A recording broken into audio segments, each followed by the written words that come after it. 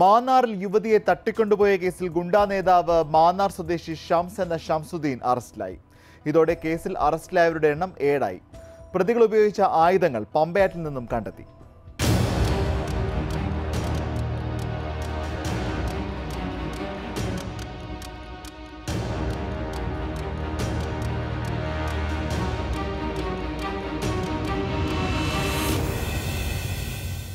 മാന്നാർ കുരുട്ടിക്കാട് സ്വദേശി ബിന്ദുവിനെ തട്ടിക്കൊണ്ടുപോയവർക്ക് പ്രാദേശികമായി സഹായം നൽകിയ കൊട്ടേഷൻ സംഘത്തലവൻ ഷംസ് എന്ന ഷംസുദ്ദീനാണ് പിടിയിലായത്.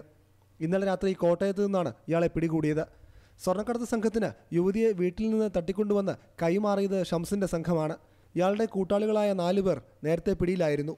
ഇതോടെ കേസിൽ ഏഴുപേരാണ് അറസ്റ്റിലായത്. മുഖ്യപ്രതികളായ ഹനീഫ രാജേഷ് പ്രഭാകരൻ എന്നിവരടക്കം കൂടുതൽ പേർ പിടിയിലാകാനുണ്ട്. കേസിൽ നേരത്തെ അറസ്റ്റിലായ ആറു പ്രതികളെ അന്വേഷണ സംഘം തെളിവെടുപ്പിനായി കസ്റ്റഡിയിൽ വാങ്ങി.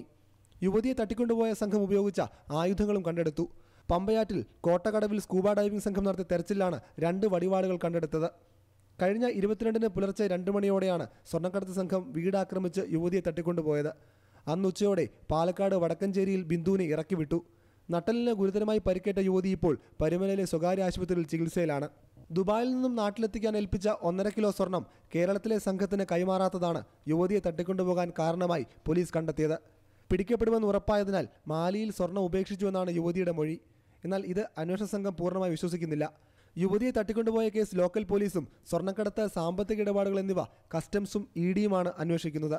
ആരോഗ്യനില മെച്ചപ്പെട്ട ശേഷം കസ്റ്റംസ് ബിന്ദുവിന്റെ വിശദമായ മൊഴി രേഖപ്പെടുത്തും. ഏഷ്യാനെറ്റ് ന്യൂസ് ആലപ്പുഴ.